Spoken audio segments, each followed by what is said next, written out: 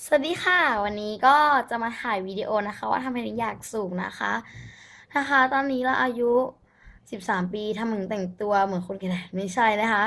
คือเขาบอกว่าให้แต่งตัวเป็นมีเอกลักษณ์นะคะ นี่ก็คือมีเอกลักษณ์ของเราก็คือ ดูว่าบ้าบอนิดนึงนะคะปากนก็ชมพูมากๆเลยอะมาเข้าเรื่องกันดีกว่าทำไมอยากสูงนะคะ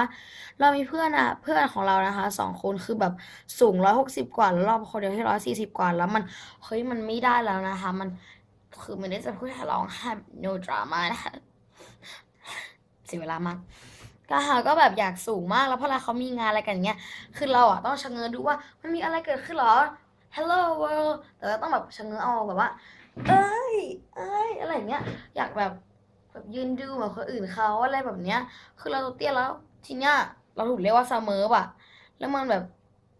มันมีโปรมาหนังสือเรียนอย่างเงี้ย ครูก็เขียนว่าซัมอร์ป่ะครูก็เขียนชื่อให้เลยนะว่าซัมอแบบรู้สึกแบบ เราก็ไม่ได้ผิวสีฟ้านะ ใช่ไหมแล้วก็ผิวดำเขาค้ำๆของเรา แล้วมันไม่ได้เสมอขนาดนั้น เราก็เลยแบบรู้สึกว่าแบบ ไม่อยากอะไรประมาณนี้ค่ะแล้วก็เลยแบบ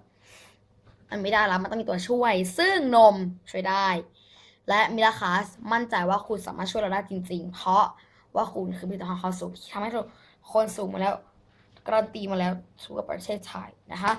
ก็เชื่อใจในมิลาคัสนะคะ แล้วก็อยากให้พิจารณาในคลิปวิดีโอนี้ด้วยนะคะ เพราะว่าอยากสูงจริง ๆนะคะ ก็ไปแล้วค่ะ สวัสดีค่ะ พิจารณากันด้วยนะ บ๊ายบาย